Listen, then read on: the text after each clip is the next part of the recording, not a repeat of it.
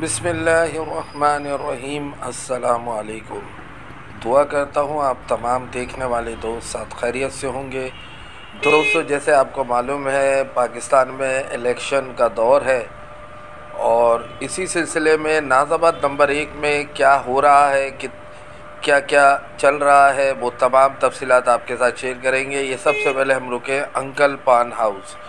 ये बहुत मशहूर नाजाबाद नंबर एक के अंकल पान हाउस है।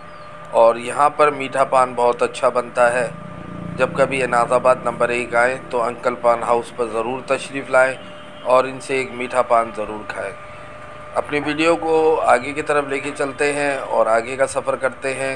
नाजाबाद एक नंबर पर मुख्तलिफ़ पार्टियों के बैनर और झंडे आवेदा हैं और ये आप देख सकते हैं, ये नाजाबाद नंबर एक का इलाक़ा है। हमारे बहुत से दोस्तों ने हमसे गुजारिश की थी कि इलेक्शनों के दौरान नाजाबाद नंबर एक की ताज़ा तरीन सूरत हाल से हमें आगाह करें क्या क्या हो रहा है, कितनी रौनकें हैं इलेक्शन के सिलसिले में। तो उसी सिलसिले में हमने सोचा कि आपको एक ब्लॉग बना के दिखाया जाए नाजाबाद नंबर एक का। अब यहाँ से हम हम मुख्तलिफ़ गलियों के चक्कर लगाएँगे और आप देख सकते हैं स्क्रीन के ऊपर के मुख्तलिफ़ किस्म की पार्टियों का, जैसे मैंने ज़िक्र किया, बैनर वगैरह लगे हुए हैं। लेकिन इतनी तादाद में नहीं है जिस तरह आज से पहले इलेक्शनों में लगे होते थे। लेकिन अब नॉर्मली इलेक्शन कैंपेन चल रही है मुख्तलिफ़ पार्टियों की। ये इस वक्त हम पहुँच चुके हैं नाजाबाद पोस्ट ऑफ़िस के पास और ये एम वाई प्लाज़ा है सामने मेरे उल्टे हाथ पे। यहाँ से हम थोड़ा सीधा रास्ते पे जाएँगे।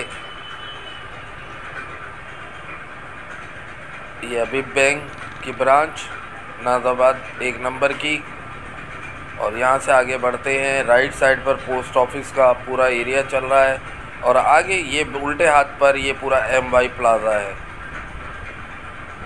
आगे की तरफ़ चावला मार्केट कपड़े की, जो कि काफ़ी मशहूर है नाजाबाद की कपड़ा मार्केट और यहाँ पर भी झंडे वगैरह मुख्तलिफ़ पार्टियों के लगे हुए हैं।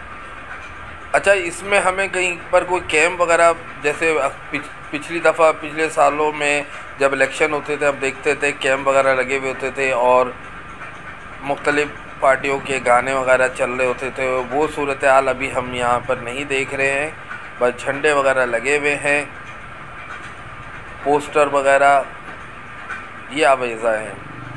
यहाँ से हम सीधे हाथ पर टर्न करेंगे लोग होटल पर बैठे हुए चाय पी रहे हैं। शाम का टाइम है और कराची के दीगर इलाक़ों में इसी तरीके से होटलों पर रश रहता है।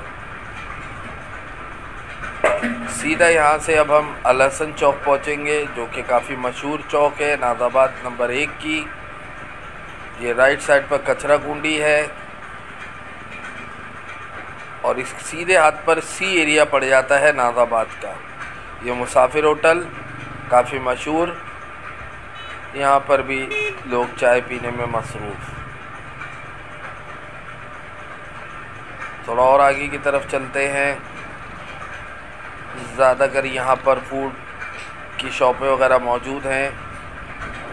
आप इसको दूसरे लफ्ज़ों में कह सकते हैं कि एक फ़ूड स्ट्रीट बन चुकी है। यह लसन चौक। और यहाँ पर पहला कैंप हमने देखा है जमात इस्लामी का, जहाँ पर लगा हुआ है। बाकी दीगर पार्टियों के कैंप हमने अभी इस तरह नहीं देखे। हो सकता है एक दो दिन पहले कैंप लगना शुरू हो जाएँगे ताकि वोटर लिस्ट वगैरह निकाल के पोलिंग बूथ वगैरह बताते हैं लोग मुख्तलिफ़ पार्टियों के कि आपका इस बूथ पर पड़ा है, इस सेंटर है, ये सेंटर है, फला वगैरह। ये सारी चीज़ें गाइड की जाती हैं अपने वोटरों को।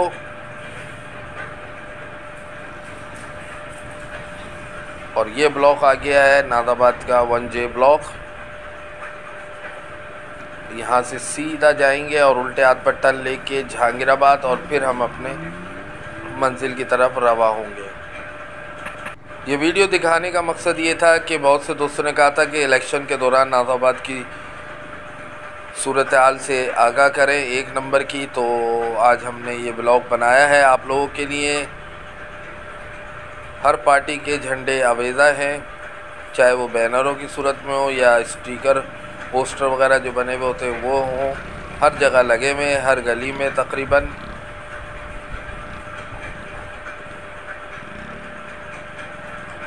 अब यहाँ से हम टर्न लेंगे उल्टे हाथ पे और सीधा जहांगीराबाद के रोड से निकल के मेन रोड पर आ जाएँगे।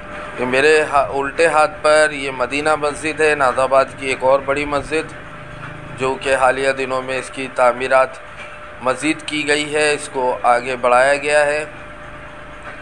यानी बराबर का प्लॉट लेने के बाद मज़ीद इस मस्जिद को बड़ा किया गया है। और यहाँ आप देख सकते हैं रोड के ऊपर सारा कबाड़ वगैरह मौजूद है और के वाले सो रहे हैं। तो यहाँ से उल्टे हाथ पर निकलेंगे और मेन रोड पर आने के बाद अपनी वीडियो को ख़त्म करेंगे। माशाल्लाह, यहाँ तो फुटपाथों के ऊपर सोफ़े सेट वगैरह सब रखे गए हैं। क्या बात है। ओ हो हो ये देखिए ये मेन मेन रोड के फुटपाथ के ऊपर ये देखिए ये क्या ज़बरदस्त काम हो रहा है जी, बहुत ज़बरदस्त। बहरहाल तो दोस्तों, ये था एक छोटा सा ब्लॉग नाजाबाद नंबर एक का। और यहाँ से अब हम आपसे इजाज़त चाहेंगे। फ़िया मान अल्लाह पाकिस्तान ज़िंदाबाद।